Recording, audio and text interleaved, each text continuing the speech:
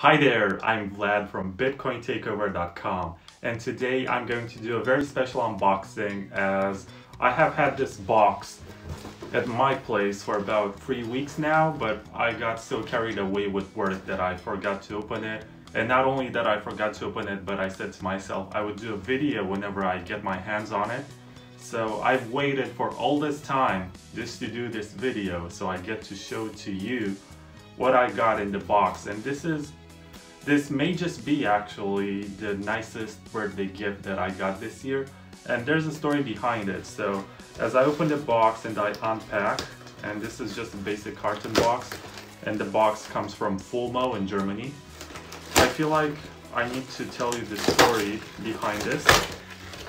And once again, I ripped it apart. I didn't get scissors, I didn't get, you know, a basic cutter stuff like that. I just ripped it apart. And the story behind this device, which is in the box, goes back a year ago when it was my 28th birthday. And this happened just before the global pandemic, before the lockdowns, before everything. And my friend Medium Squeeze on Twitter gave me $100 in Bitcoin and told me to buy Raspberry Pi so that I run a Raspberry Pi node and specifically I wanted to follow the RaspiBlitz tutorial and run a node using that dashboard software. And the reason why I did not do it was because at the time I could not find any cases in Romania. So in my country, in all of the stores, there were no properly ventilated cases and the Raspberry Pi 4 tends to get very hot. So I gave up on the idea and just waited for the supply chains to start functioning once again. But as I was waiting, when I got the $100 in Bitcoin in February 2020, uh, 2020 actually, that's how we call it, I I think the price was about $9,000 and as I waited and waited, I saw that massive dip which happened at the end of February or in March I think and after that the price started going up. And a year later as I turned 29 so I have HODLed that donation for medium squeeze or uh, should I call it a gift because it was for my birthday. I HODLed it for an entire year. And when that year has passed the valuation of that money has gone up so so much and it's so high that I was able to order something which costs about five or four times as much and it's not just the Raspberry Pi that's here, it's a whole product. And I have spoken with Jeff from Fulmo. And I feel like I should open this a little nicer. Okay, so it's open. What I have here is a receipt, a sticker with the Raspberry Blitz logo, a sticker which says Bitcoin never sleeps, another one which says Bitcoin can't be racist, which is very true. And fix the money, fix the world. So I have some stickers, I have a receipt. I also have another stickers which says something very nice about the banks. And I suppose I'm gonna put all of these on the device itself because I have a Ras RaspiBlitz and the 4 gigabyte version of it with the 1 terabyte SSD and that very nice shell. It actually looks like a real product, so this is pointless. This is pointless. This is the power adapter for the Raspberry Pi, which is necessary for me to power up this beauty. USB-C European Union type of plug. It's exactly what I need. And what else do I have here? I have the Hyperbitcoinized calendar, which is very nice and features pictures taken by Bitcoiners of different places, I guess. I did not get a chance to look at it properly, so right now you're seeing much more than I know about it. But I wanted to get my hands on one of these for a long time, and I was able to get these, get this more specifically as a gift so every day of the year has one of these pictures that were taken by, I guess, Bitcoiners. I suppose it says at the beginning what you're supposed to find here. So yeah, you have a description which says, Welcome to the first edition of Hyperbitcoinize, the Bitcoin calendar, making Bitcoin's history tangible and fun. The front side features uh, at BTC street art photo from around the world. All photos were shot by Bitcoiners, most crowdsourced in the Bitcoin awareness game and crowd-funded with BTCPay server, paid for with Bitcoin over the Lightning Network. The logo location is on suspension points. The backside and features an inspiring quote with historical dates from Bitcoin history, firsts, milestones, trivia, and anecdotes. When there is a date next to a milestone or quote, it happened on that exact day. Enjoy this first edition limited to 2021 prints. Love, ideas are like flames.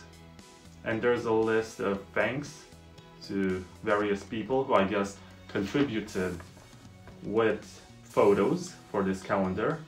So you can get this one for about $10. It doesn't come in the most expensive type of paper, but as you can see on the back, you can see different quotes which are either from Bitcoiners or contain memorable events that happened on that day. And you can get this one as a collectible, I guess. It's a lot bigger than I expected. In pictures, I, I just thought it would be like 12 pages, one page for each month of the year. This is huge. There's a page for each day of the year. It smells like freshly printed and it's like 10 bucks. So if you get a Raspberry Blitz from the Fulmo shop, you should also look for one of these. When I got my Raspberry Blitz, this was a gift. So thank you very much, Jeff from Fulmo and Raspberry Blitz for sending me this one. And let's see what else is in the box because I haven't gotten to the main event. I still don't understand why people fetishize so much unboxings. I also have a red Ethernet cable. I did not have a red one, so this is a first. So, uh, this is the moment for which you have been waiting for. I have teased you about this and another story about low time preference concerns this metallic shell. So let me take this out. I've had this conversation with Jeff from Raspberry Blitz and he told me that if I waited for two more weeks, I could get this version which has this enclosure, which is made of metal and looks very nice and feels nicer in your hands. The other version, which is like $50, I think, more inexpensive, only has a basic case for a Raspberry Pi but this one looks more premium, looks like an actual product. It has a touchscreen that you use to operate, so you're not going to need necessarily mouse and keyboard to operate the operating system in this Raspberry Pi. And it has the standard USB ports that you can see here. It has um, the Ethernet port it has this USB-C port here, which I suppose is used to power up the device. And what else do I get here? I have a stylus, just in case my finger cannot touch specific parts of the menu, so when I access it, this is a lot more practical. And I also have an SD card, which I dropped inside the box. So this is an adapter actually, a Samsung adapter for the SD card. So this helps you connect the micro SD, which I suppose is already inserted, and I can take it out if I figure out how to open this. So if you want to connect it to your computer, you're going to need this, and it's a nice accessory that's much needed. And you can see on the inside, if you open this, there is a SanDisk SSD of one terabyte. That one will make sure that you synchronize the Bitcoin blockchain very fast. And it, what's special about this node is that it uses the Raspberry Blitz software. And it's a dashboard software that has been around for longer than two years. And I know that there are other options like Umbrel, like MyNode BTC, and lots of others.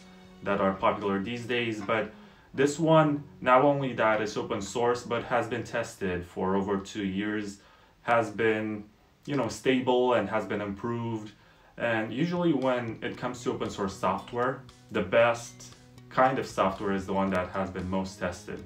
And for example, I saw some discussions about Umbrel, so that's U-M-B-R-E-L, and they said it's not very open source. It has a type of license which allows you to use it for free, but not necessarily to use it for all the purposes usually associated with open source software. So this also means that there are fewer incentives for you to actually scrutinize that code. And I would not trust it as much, you know, this is very sensitive stuff, this is delicate, it's about your sovereignty. And if I want to check the code for this, I can. I can basically download it and burn it on an SD card, so this works. This is the plug and play version of it. So I can just take the AC adapter, which is here. I take it out of the box and then I plug this to my internet router and that's it, I'm good to go. So this comes in black to also match with the case color. I plug this one on the side, so I think it's going to be inserted here. Oh no, this is I'm sorry, I was dumb. So this is the SD card slot and you can press to remove it if you want. I'm not sure if my fingernails are long enough to actually perform this. But anyway, this is the SD card on the side and here you have all the other ports. And if I want to power it up, I suppose that the port is right here in front of it. Where you also have two micro HDMI ports and I think this connects here. So yeah, mystery solved.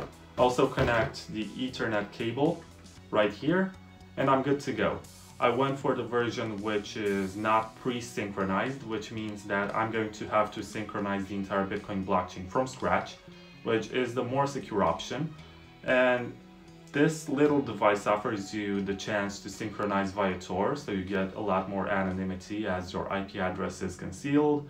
And also, it helps you run a Lightning node very easily with a software that makes everything like a point and click, more like point and touch experience.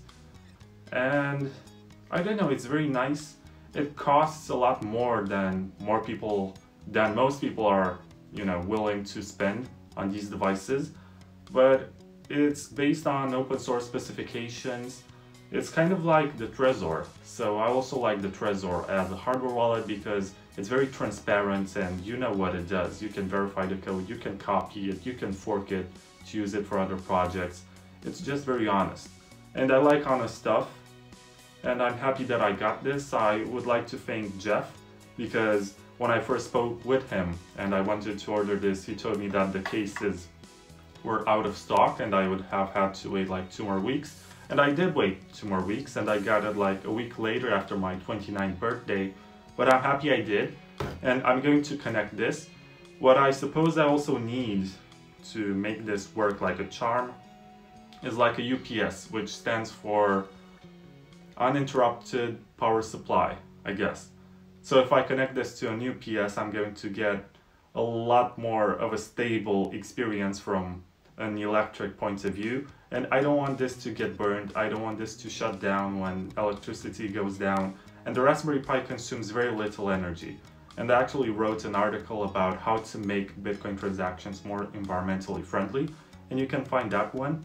And it's going to help you figure out that if you use Lightning and basically Lightning is operated with some of these very low power devices, you're going to consume a lot less energy. So if you switch most of your transactions to the Lightning Network, you're going to have a very eco and green and environmentally friendly and tautology friendly experience. So this has been it. I'm glad that you stuck around to watch this. It's an interesting device. It's very basic, it's simple. It's kind of on the expensive side, so I think it's like $400, $500.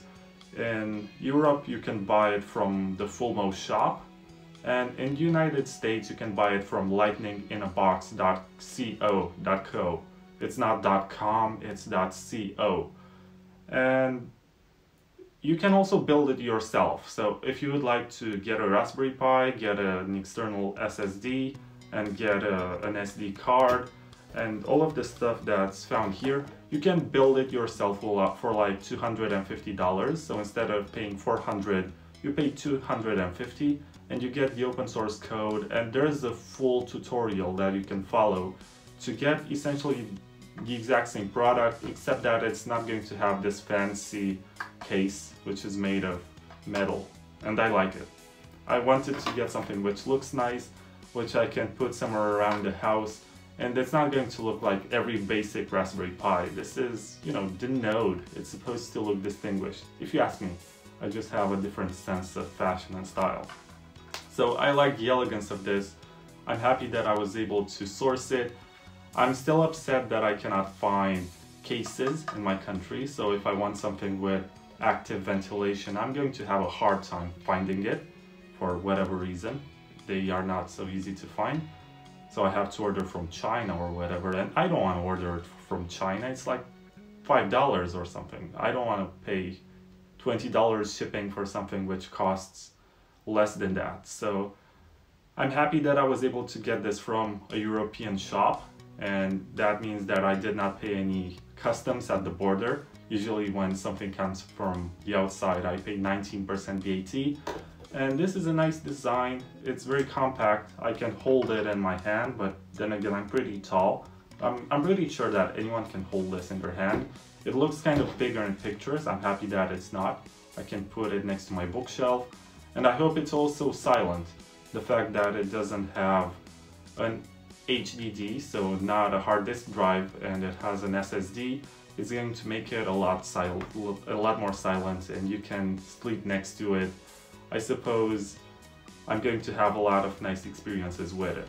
So with that being said, thank you very much for watching and I'm going to use this to open more Lightning channels to support the Lightning Network, let it run for a longer time, and basically something nice which I also find in this device is the BTC Pay server, which is your personal, I don't know if I should call it like a merchant service, it's more like a place an app which generates receive addresses for yourself. So if you want to receive donations or if you want to set up an online store, BTC Pay is an open source solution for that and it's very nice. Plus, if you want to do coin joins, you have the JoinMarket, which is the decentralized alternative. Well, the other nodes like Umbrel, like MyNode, and I think also Nodl, Nodl definitely has it. They have Samurai Wallet, which I'm not a big fan of for a reason which concern their approach to their customers. So I prefer the JoinMarket, which is open source and it's also transparent and decentralized. So you don't need a centralized coordinator to find out everything about all the other participants. So yeah, these are the reasons why I went for this one. It's open source, I like it, it's basic, and if you get the money to buy one of these, you should. Or if you cannot get the money to buy one of these, you can build your own at half the price. So you should consider it. This is nice. I'm going to run it. I'm happy that I have it. I'm going to get back with an update and mention how long it takes for me to synchronize from scratch. Essentially, I'm going to synchronize from January 3rd, 2009, when the Bitcoin network got launched. So wish me luck. I hope it takes less than I guess two weeks or I don't know what it usually takes but I guess that's pretty standard. So I'm going to plug this and see the kind of experience that I get. Thank you for watching and I'll see you in the next one. Stick around.